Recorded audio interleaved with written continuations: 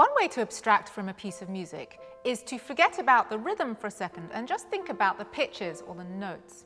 If we think about how the notes are related to each other, that can give us different scales. Scales are a string of notes that have certain relationships with each other. For example, this is a C major scale. This scale doesn't use all the notes on the piano. There are 12 different notes on the piano.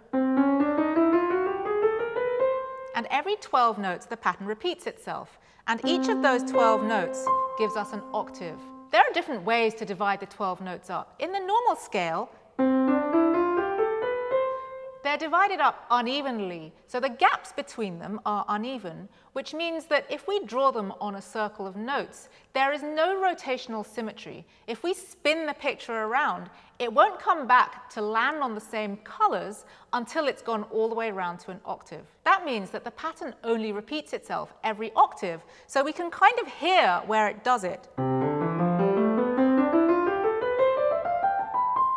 Which makes it sound rooted. However, if we divide the 12 notes up into equal parts, then it won't sound rooted anymore because it will have rotational symmetry. For example, if we do 6 times 2, then it will sound like this. Sounds much more hazy. It's called the whole tone scale. Debussy is one composer who loved using the whole tone scale to create slightly more wishy-washy sounds. For example, in this piece, Voiles, it's all whole tone scales.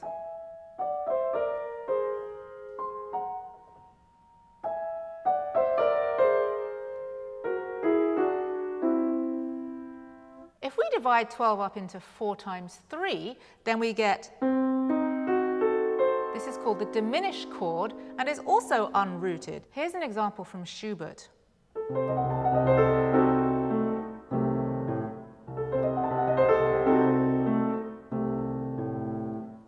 He's giving the impression of wishy-washy, misty water.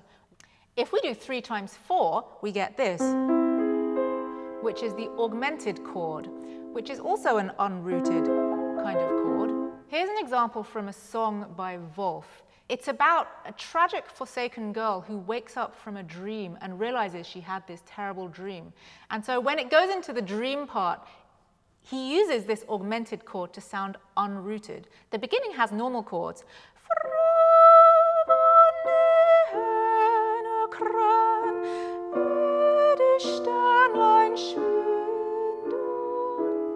And then it goes into augmented chords in the middle.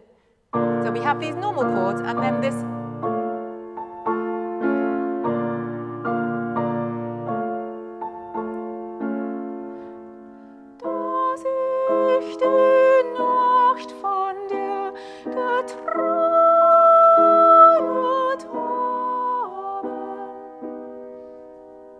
Different factorization of numbers can appear in music in rhythm or in pitch, and it's abstractly coming down to the same piece of math. The composers weren't necessarily thinking about factorizing when they were writing this music, but we can think about factorizing to help us understand how they did it.